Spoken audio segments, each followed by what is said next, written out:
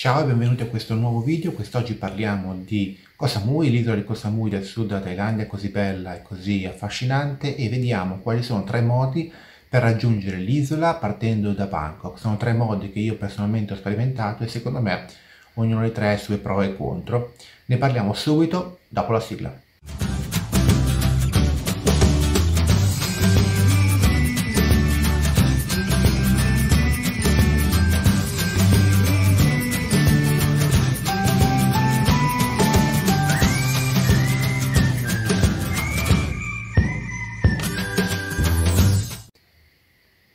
Primo modo per raggiungere l'isola di Koh Samui partendo da Bangkok è quello attraverso il bus notturno. Abbiamo questo bellissimo bus che parte dalla stazione Southern Terminal di Bangkok che arriva fino al molo di Surattani chiamato Donsak Pier. Questo è un viaggio che dura circa 10 ore, si parte più o meno alle 10 del mattino da Bangkok e si arriva intorno alle 6 del mattino al molo, quindi al Donsak Pier Dopodiché da lì bisognerà prendere un traghetto che in un paio, un paio d'ore ci farà arrivare alla stazione di, alla, ci farà arrivare all'isola di Koh Samui.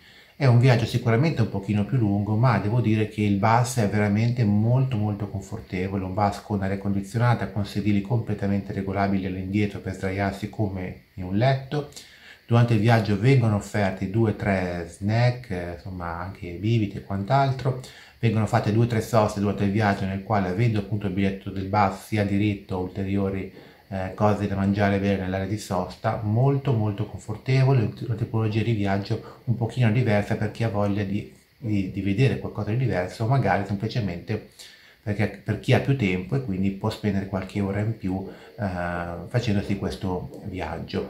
Il, il, vantaggio di questo viaggio un pochino più lungo è il costo. Io ai tempi, quindi 12 mesi fa, pagai a tratta soltanto 700 baht. Io feci soltanto l'andata, il tratto appunto da Bangkok a, a Don Sak Pier. 700 baht secondo me è assolutamente un grande affare. Per quanto riguarda la seconda modalità per arrivare a Koh Samui partendo da Bangkok è quella di prendere un volo da Bangkok, quindi dall'aeroporto Suvarnabhumi Airport, specialmente un volo ehm, Thai Airways, volando fino a Suratani, che ha una, un aeroporto ed è la punta a sud della Thailandia. Da lì si prenderà poi un bus che ci condurrà al, al molo ancora e da lì un traghetto per ehm, appunto eh, Koh Samui. Il vantaggio in questo caso che a tratta Bangkok Koh Samui in aereo si fanno veramente in 50 minuti e secondo me è una buona soluzione perché spesso i voli diretti da Bangkok a Koh Samui sono un pochino, secondo me, costosi.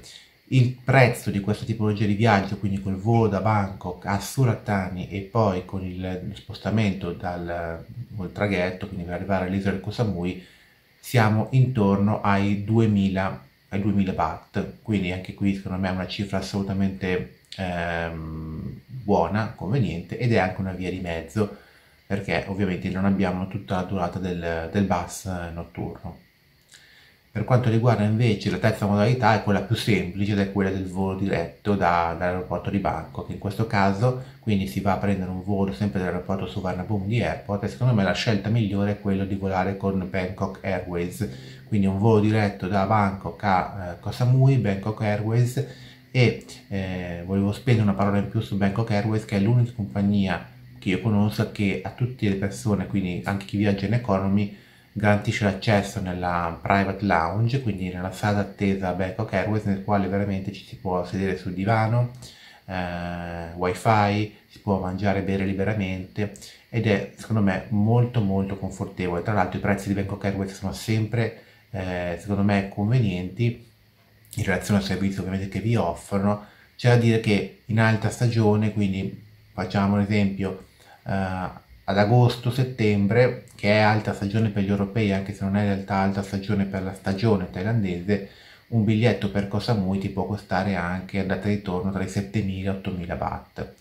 Ovviamente qui è una scelta, ovviamente se una persona ha a disposizione soltanto 7-10 giorni il volo forse è l'unica alternativa, ma come dicevamo prima, se si ha un pochino di tempo in più da spendere, probabilmente si può optare anche per una delle altre due possibilità che vi ho spiegato eh, prima.